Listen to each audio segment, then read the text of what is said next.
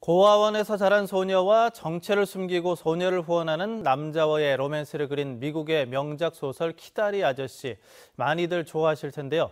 이 소설을 원작으로 한 뮤지컬 공연이 처음으로 대구에서 선을 보이고 있습니다. 이상원 기자입니다. 고아원에서 자란 소녀 제루샤는 누군지도 모르는 후원자 키다리 아저씨 덕분에 대학에 입학해 독립적인 여성으로 성장해 갑니다. 여주인공 제루샤가 남자 주인공 키다리 아저씨에게 보내는 편지를 중심으로 오로지 두 명의 배우가 2시간 20분 동안 무대를 이끌어갑니다. 관객들은 로맨스로 이어지는 두 사람의 섬세한 감정선을 느낄 수 있는 이인극의 매력에 빠지게 됩니다. 원작 키다리 아저씨와 조금은 다른 면이 있겠지만 그래도 또그 키다리 아저씨를 좀 더 깊게 제대로 진하게 느낄 수 있지 않나 하는 생각이 듭니다.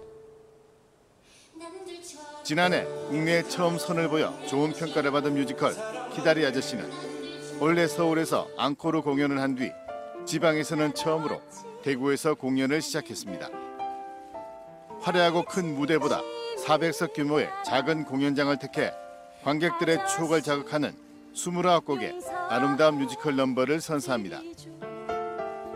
저희 뮤지컬은 굉장히 따뜻한 뮤지컬이에요. 그래서 이 공연을 보시고 어, 많은 분들이 힘을 받고 가셨으면 좋겠습니다. 많이 와주세요. 어릴 적 읽었던 고전의 감동을 아름다운 선율의 뮤지컬로 되살린 키다리 아저씨 공연은 다음 달 3일까지 계속됩니다. MBC 뉴스 이상원입니다.